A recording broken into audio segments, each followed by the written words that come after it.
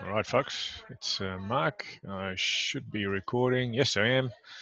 Uh, just want to do a quick workshop around uh, solution focused therapy, not necessarily um, talking specifically about solution focused therapy as such, but purely talking about some of the techniques uh, from SFT or SFBT, solution focused brief therapy. Um, I quite like it.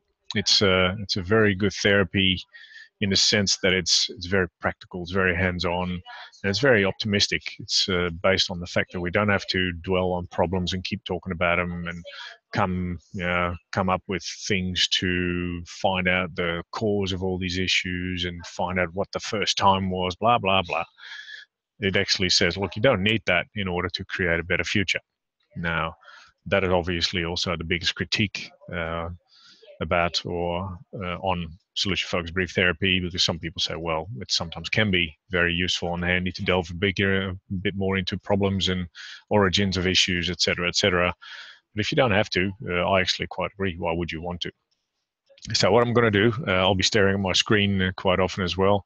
I'm going to run you through uh, a number of techniques that I found really useful in, in my application of solution focused, and I use it quite a bit am I an expert? No, definitely not, but I use it quite a bit. Uh, there are some experts out there that I will recommend to you very uh, shortly, uh, and I find it a very useful tool to get quite far uh, in sessions with clients. And I can combine it with other things like you know, cognitive behavioral therapy, a bit of person centered, a bit of narrative therapy, depending on what's going on, and other techniques that might be out there. So bear with me. I'm going to make it uh, as short as possible. Uh, knowing myself, it'll definitely be about half an hour, 40 minutes, I'd say. Um, and we'll see how far we get. All right, two, I'll actually share my screen with you. And that's the desktop. Yep. Okay, here we go. Now, that should go all right, I hope. Oh, I think so. Now, one guy, and I'll shove that one across. I'll, I'll share two, no, three, maybe four people with you that I find very useful to look at and, and read about and read stuff of when it comes to solution focused therapy. Uh, one of them is Elliott Connie, and hopefully you see uh, what I'm seeing in front of me on my screen. Uh, Elliott Connie is an American guy uh, who was trained as a counselor and worked with another one of the guys that I'll I'll talk to, Bill O'Hanlon, and there's another another one, an English guy, can't think of his name, oh Chris Iveson, uh, who's also big in solution focused therapy. Now Elliott Connie, if you're interested, I'm not going to talk about the guys. It's not that I endorse him or something, but he's got a lot of information, a lot of videos, a lot of written stuff uh, about solution focused brief therapy. So it's worthwhile, I would say, purely for your own sake, to sign up, put your name and address in there, and you'll be assured uh, to get lots of info about solution focused brief therapy, which is just handy to have in your own little toolbox. So check him out, Elliott Connie. Now, he came up with a sheet that I'll open up for you. And you should be able to see that now on your screen. Uh, Elliott, Elliott Connie's 101 solution focused questions. Now, they are absolutely useful. So I'll put that up as a recording as well, uh, not as a recording, as a, as a PDF on uh, Counseling Tutor Mark's uh, workshop and resources page, and I'll put it on EVO Counseling Buddies as well. But this is a very handy sheet with all the types of questions that you could ask of clients that would, if you would follow them, and you would follow them um, not in a in a rote kind of mechanical way, but in a free flow discussion style, would make you do an absolutely cracker solution focused session, as it's all in there. So again, I suggest get that thing. Um, I'll I'll put it up, download it, use it, print it off, print a couple of copies off. So wherever you are, you can get your hands on a copy, put one on OneDrive, Google Drive, wherever. Uh, you've got all the iCloud, so you got them everywhere. Um, and I'll, I'll come back to this one. Now, a book that I highly recommend, and I'll put it up, is that one. Interviewing for Solutions uh, by the classics, you know, Insoo Kim Berg, and uh, not Steve DeShazer in this in this book uh, anymore, but Peter de Jong or Peter de Jong. He's, he sounds like he's got a Dutch name. uh, Insoo Kim Berg is is the lady behind solution focused therapy, together with uh, Steve Shazer, who was her husband. Uh, and that's one you want to get. If you want to have the Bible, you can see it on mine. It's got all these little tabs in it. I use them a lot. Um, a third person I think is very handy to read about and do some stuff with is Bill O'Hanlon. And that's, I'll have a look. Bill O'Hanlon. Yep, Bill O'Hanlon. Here we go. Now I'll put that one up on the screen. Uh, good old Bill he trained a lot with Milton Erickson. If you know a little bit about hypnotherapy or a little bit about neurolinguistic programming, then you should know who uh, Milton Erickson is. I might do a workshop on Milton because I like him. Uh, Bill was one of his students, and he's got his own uh, way of doing solution focused therapy. So I think he calls it slightly different. Yeah, solution based basics, whatever, possibility therapy, whatever name you want to give him it's all still very solution focused, so it's good to look at. And the last one, and I'll put that one up there as well, that I'll mention is Scott Miller. Uh, no, not that Scott Miller. Scott Miller, the psychologist, and that's that's him, Scott D. Miller. Now, if that wants to open up pretty quick, there you go. That's good old Scott in the left hand corner. Uh, he talks a lot about uh, the ORS and SRS, the outcome rating scale, session rating scale, which is massively interesting uh, material. But he's also very much a solution focused based therapist. So if you want to look something up, uh, Scott is an interesting guy. So his website, Scott D. Miller, just type in Scott Miller, psychologist on Google, and you'll definitely come up with something. Uh, very interesting guy, very solution focused, and uh, lots of good info there. Now, what I've got as well for you, and I'll post that too online, is a sheet or a, a bunch of questions that I made for myself. Uh, I had to do role plays and solution focus uh, for my master's course in counseling, and I didn't want to go into a session without a cheat sheet, so I made myself a cheat sheet. And I've put pretty much everything on there that I think is important to have handy for a solution focused therapy session. So I'll use this one, which I'll also put up on EVO and on Counseling Tutor Mark's workshop and resources page. This is the one I'll actually talk to a little bit when it comes to what are some of the cool techniques that Solution Focused uses. So bear with me. I'll go through them. And I think, yeah, I think that's that's that. Obviously, you got your learner guide. There's lots of good stuff in there. But those resources that I mentioned now, Elliott Connie, Scott Miller, Bill O'Hanlon, uh, what else did I do? Well, Chris Iveson as well. Chris Iveson, uh, he's in England, uh, solution focused. And then with the sheets of Elliott Connie, this sheet and your learner guide, you got plenty of stuff to start working with solution focus and put some good tools in your toolbox. All right. Now, that being said, um, solution focused is, is a fairly easy it seems easy. I always i said to my tutor it seems so easy. It's actually not that easy but it, it has an easy format to it. Uh, there's not a lot of problem talk and, and that's really one of the core things of solution focused therapy. Uh, obviously you ask the client why they're there and they might share the issue with you and it's okay to ask obviously what the issue is.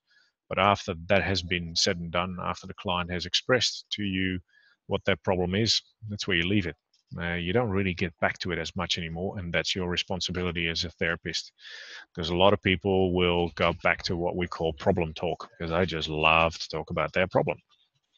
And that's very human but not very solution focused. So your job as a therapist or as a counselor will be to help people move from that problem talk back to resource talk or to to solution talk and you got to be sharp because it's very easy to fall back into problem talk mode and, and dive down the rabbit hole out of which there's hardly any return.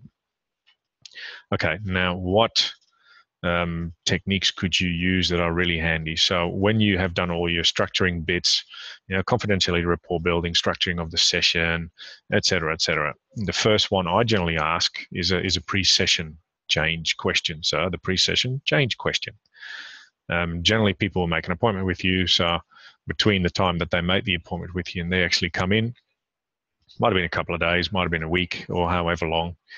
And often, the moment people start to make an appointment with you, or people make you often when people make an appointment with you, things start changing.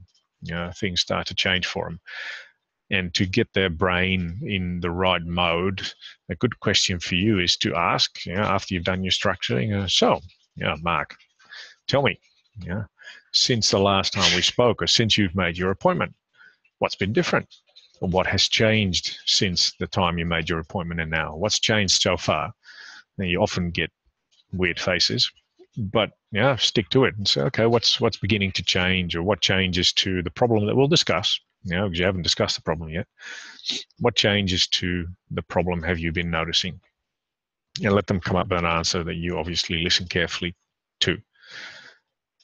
And that already gives you often good hints on, on where the session could go. You know, and it could be something like, well, I don't feel as bad as I, as I did last week. Uh, and then you can build on that one and say, okay, what's better?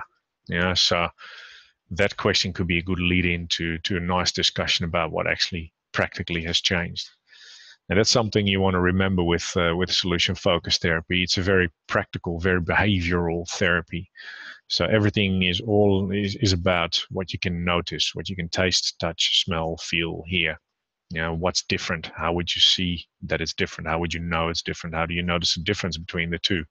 How would other people be able to tell you and those are questions you can ask as well but i'll get to those.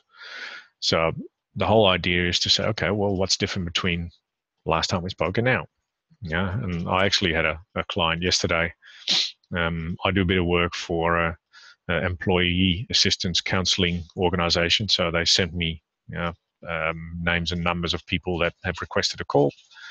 And I, I called this lady up after a couple of hours. You know, I needed to make an appointment with her.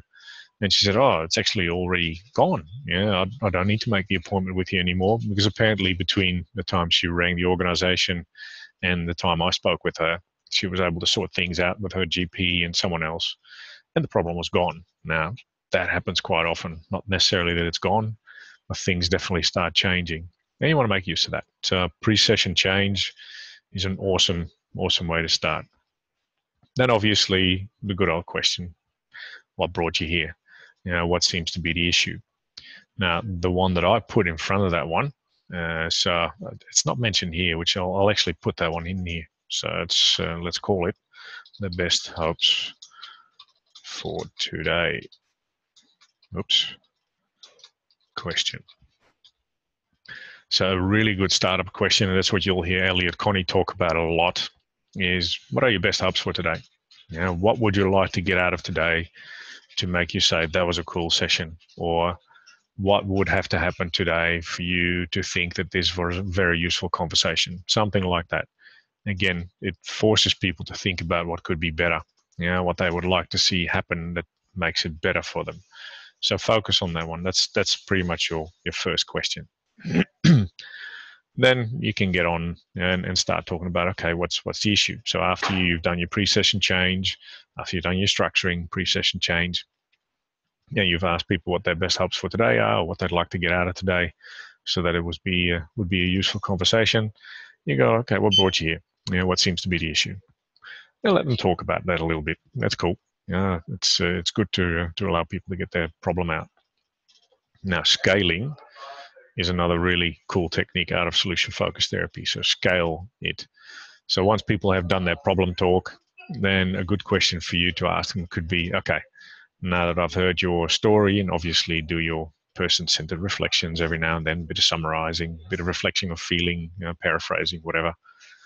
Okay, so now that I've heard your question, dear Mark, you know, on a scale from zero to 10, where zero is not an issue at all, and 10 is like it's a massive deal, where would you say your problem sits, you know, your current situation?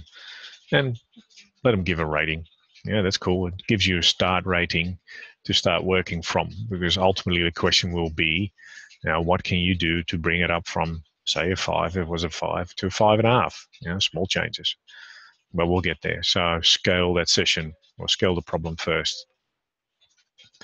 Now, again, Elliott Connie talks about that a lot if you would watch his videos the next thing to do is resource or problem free talk. So, again, as I mentioned, stay away from um, continual problem talk as much as you can. So, do some resource talk. And it could be really simple stuff. It actually seems like a tangent that you're going to do something that's entirely different. But, you know, start talking about, yeah, what are you really good at? What are your hobbies? What do you like to do? What sort of work do you do? What's your family composition? You've got a lot of friends, you know, you can do a bit of self disclosure. So talk about yourself, you know, and let them answer that. Just let them let them talk about what's actually working in their life and how things are going for the good. And then ultimately, you know, once they've done that problem talking, you've done a bit of uh, solution or problem free talk. You say, okay, well, instead of the problem that you just described to me, you know, what would you like to have happening instead? That is a good segue, a good bridge to you know, start to see what sort of goals the client would see, or the outcomes anyway, the outcomes that they would like to get, and that could lead to a strategy towards the outcome, and the strategies are the goals. So, what would you like to happen instead of feeling depressed? And so, well, I'd like to feel better. Okay. Now, better is obviously not a very tangible, observable thing, but then you can start to ask questions like, okay, well, if you would feel better, yeah, how would you know? How would you know that you're better? What you would you be doing? What would you be saying? What would other people be saying? You know, how could you notice that you're actually doing better? And that's that's very solution focused again. Once people say, okay, I'd like to feel better and I'd like to be rid of this depression or I'd like to feel less anxious, which are great non-solution focused ways of defining an outcome, you say, okay, so if you'd like to feel better, you know, how motivated are you on a scale from zero to 10? Again, a scaling question. And often people will tell you, oh, 9 out of 10 or 11 out of 10, you know, because I'm really motivated. But then it's also the question of, well, how confident are you that you can actually pull this off? And you'll find across the board that people are generally less confident that they can do it than they are motivated to do it. And that's cool. And again, I'm not going to go into more depth about that one. There's ways you can get around it. So this is purely a technique, little training session. So talking about motivation and technique, scale them again, write it down, and then yeah, you're done with that one. Now, once people have identified their outcome, not their strategies to the outcome, but have identified their outcome, you can start to ask them like, how would you know that you've been successful at this? How would you know that you've reached that result? And don't make them get away with say, well, I would feel better or you know life would be rosier because that doesn't mean anything in terms of tangible behavioral results so keep asking it's like how would you know that you know what would be different how would people be different to you? How would another one notice? You know what would you be doing that you're not doing now? You know how would you be living? How would you be acting? You know things that you can see touch taste feel smell hear. Now you can keep going on that one, but that's just another technique. So ask for tangibles, you know, things that you can grasp, literally nearly grasp. So your behavior would change. Well, how so? So, well, I would do more with my hobbies. So great. What sort of hobbies have you got? Resource question. So, well, I'd like to do scrapbooking, or I'd like to do woodwork, or I'd like to do needlework, whatever. So right, and, and you're not doing that as much as you are now. So no, no, no, because I'm too depressed. So, okay. So is it fair to say that if you were less depressed and you were feeling better, that you would be taking up needlework again? So, yep, fair chance. Great. Now you got start of a goal, yeah, because that could obviously be a goal. All right, on to again. This this all should go pretty free flow, and not every session goes free flow, but I'm just following a generic outline two types of questions that are really good to ask in a solution focused therapy session are questions about previous solutions and about exceptions. So, whatever problem we are faced with know, that might come into your counseling room, generally there will have been situations where people have gone through a similar or the same problem before and were able to do something about it. And you want to know because what did they do, or what did others do, or how did they manage to do things like that how did they know that was a good step? Again, it's all resources that you can use to put in a goal. And the same with exceptions. You know, often, very often, people will sit in your room with a problem that they did nearly have happened before, but it actually didn't. You know, that's the exception. So, where has there been a time, or where have there been times that the same problem that you are facing now could have occurred, but it actually didn't? And then ask them, you know, what was different then? You know, why didn't it occur or why didn't it occur at all or not in that level of severity as it does now?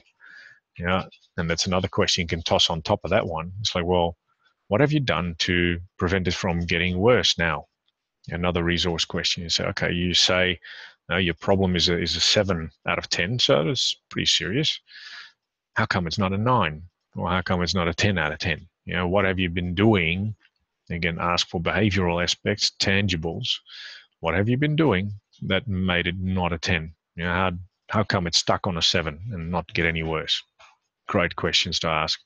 So the previous solution and exception questions are ones that you can can flesh out quite a bit. You can spend uh, 10, 15 minutes on it. And don't let clients sort of palm you off and say, oh, I don't know, because that's often an answer you'll get, because generally there is something. And you might have to fish around a bit before you get one. Now, the big one, I'll go through that one, is obviously the miracle question, the good old miracle question. Um, that's a nice one to ask. I don't like it in its classic format. That's just me. Uh, yeah, just suppose, you know, Insoo Kim Berg uh, does a great miracle question because it suited her. Uh, it was her thing. So just suppose that, you know, you go to bed tonight and while you're asleep, this miracle happens.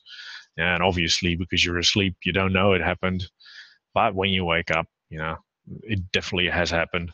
How do you know what's different? What's the first thing you notice uh, that you know is different from what's different or what was today? You know, how do you know something has changed? Don't ask them how they feel because that's a feeling question, but you know what they notice, what's different.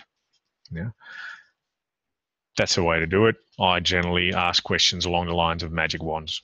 You know, so if I were to have a magic wand and I could wave it around over you right now, and all your problems would disappear. You know, how would you notice that a different situation is now in place? You know, that a better situation now is in place. How would you know? How can you tell? How would others react to that? You know, what would they say about you or about the situation? Um, how would you behave differently towards other people? What would you say? You know, et cetera, et cetera. So you, you're walking from you know, the problem description to motivation scale to exceptions and previous solutions to the problem to, well, how would you notice that something's different? You know, it sort of seems to flow quite nicely. And that's what I said. The format is relatively easy. You know, the, the practice of solution focus is not necessarily easy, but the format is relatively easy. Again, you can put a scaling question in. I've put one down. So, yeah, on a scale from one to 10, uh, how close do you feel to this miracle? Let them notice it. And again, the, the rest is all questions, you know, observations, things that behave, or things or people that behave differently or that show to be differently or that will make you act differently or make other people act, say things differently. Use a lot of those. And again, back to this one, lots of questions on, you know, the preferred future questions, and on scaling questions, etc., etc. You know, resource talk. There's lots of that one. Yeah. What would you consider? You know, here. What would you notice next? What would you consider? Why would you consider this to be a good thing? What difference would it make to your life? How would that please you? Blah de blah de blah. There's loads of that stuff.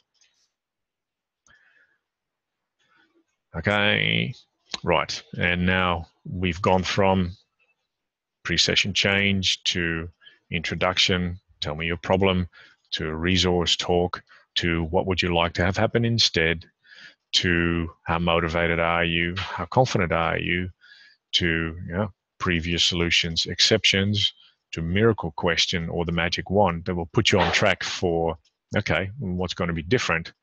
Now that all that together while you're listening very attentively can lead into goals. You know, that can lead into you guys doing some goal setting. And you can even already start to preempt on it by saying, look, you know, that miracle, you know, that you've just described to me, where is that already happening, even that much? You know, but where is the miracle already happening in your life? You know, how can you see that already taking place, even to the, the tiniest degree?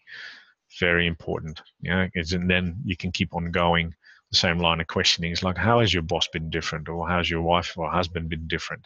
Or have your kids been talking to you differently? It's all about that resource thinking, getting away from the problem.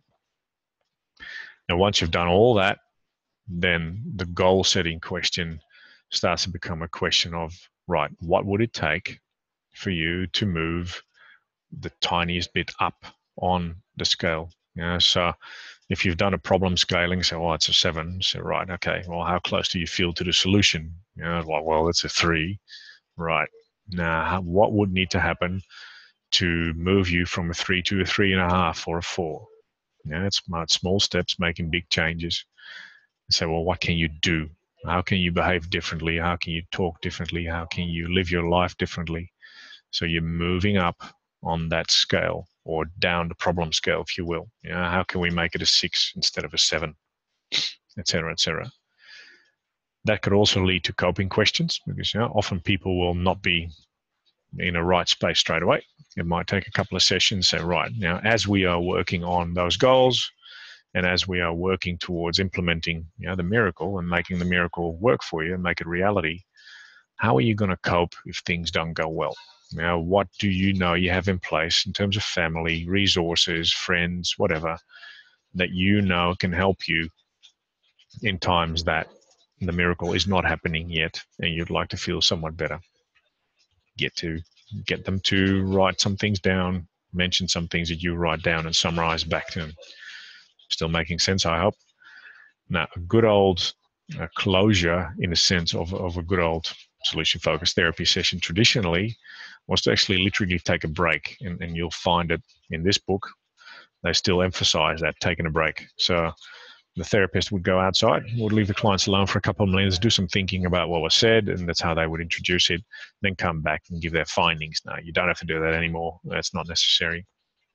But what you can do is you know give the client feedback and that's always a good one so 45 minutes into an hour session maybe 50 minutes in yeah it's your time to give them feedback now, feedback and complimenting goes together. You know, so hey, Mark, it was great that you came here today. I've heard a couple of really good things from you. Uh, it seems that you're already moving into the direction of you know, building some solutions to this problem, and I must really commend you on that. You know, sometimes it's tough to find you know light at the end of the tunnel, but you seem to have been able to you know find some good resources here already you can use or are using. Blah blah blah. So you compliment them, you know, which sort of strengthens their resolve that they can actually do it. And then you suggest what they call the formula first session task. Now you can suggest some homework, and that's where solution focus is slightly different than others. This is where you can be a little bit directive and, and suggest stuff. They call it usually experiments, and I like that word. I don't. I'll actually change that because experiments is a way nicer word to use that. Whoops, the experiment. So if you know that taking some exercise that you haven't taken is a great way to get over the lethargy that you've been you know feeling for so long, then the experiment that you would suggest is uh, well, okay, you know we've talked about you know the, the the use of doing some exercise. So why don't you, Mark, as an experiment, you know, try and take on at least three walks, you know, over the next five days or something, yeah, 15 minutes long. And then put in there, notice what's different when you do it and after you've done it. Again, so it's all about behavioral differences. So notice what's different. And you know, let the client give some feedback on that one. So what do you think about that one? Or suggest something else, or you can brainstorm, you know, a couple of steps that they come up with as well. But there's a good one for you uh, to actually put in yourself, you know, as an experiment. So if it doesn't work, doesn't matter yeah, just keep working on it. It's an experiment. We'll find out next time if it's worked or not, and in what way it did work or didn't work, etc., etc. And then you know, keep track of the difference and report them back to me next session. That's it. Now, if there's no clear goal, and sometimes that happens in sessions, uh, then just ask them to be observant. So, as an experiment, you know, I would like you to observe in your life or work or family how things are going for you and, and to how you would like to keep them happening. You know, so be very observant to little things changing that could point in the direction of the miracle happening, something like that. Now, that's pretty much it. And then you can close off and you know, say good day and uh, move on. That is a very simple but very effective format of a solution focused session. Now, do you have to put everything in there? Nah. Will you put everything in there? Nah, probably not because sometimes you get caught up in the trap of problem talk anyway, and it's half an hour problem talk, and then you find you got only half an hour left for the rest. Sometimes people get so caught up in, in actually describing, you know, better ways of living, better ways of doing stuff that it's only about exceptions and previous solutions for one whole session. Great. You know, it doesn't really matter. Keeping your own mind you know what sort of level you're at and, and where you're at and as long as there's behavioral changes either being observed or being uh, put together as, as pieces of homework or experiments, you're doing all right. Yeah. And then leave them with a homework task and uh, send them off. So see if you can follow this one. I'll leave it at this. You know, there's there's so much stuff on solution focus. So I'll leave it at this one. I'll stop sharing. So I'll leave it at that for for this one. But see if you can find your own little cheat sheet. Print mine off. I don't care. I don't have copyright on that one and, uh, and make that work for you because it's very useful to have something handy. I still work with cheat sheets. I love them. Um, but that's about it. Uh, any questions? You know where to find me. Uh, I'll do another one, I think, on acceptance and commitment therapy next week or the week after. Again, purely techniques, not about you know the theory behind or the principles behind, but more on what sort of tools can you put in your toolbox, like with CBT. You know, your thought records, your decatastrophizing, your cognitive restructuring, here's a bunch of solution focused tools that you can put in your toolbox and use them you know work them until you start mastering them so you become more proficient with them. And that can help you to become more uh, competent at what you're doing anyway. All right. That's it. Have a great day. Speak soon. See ya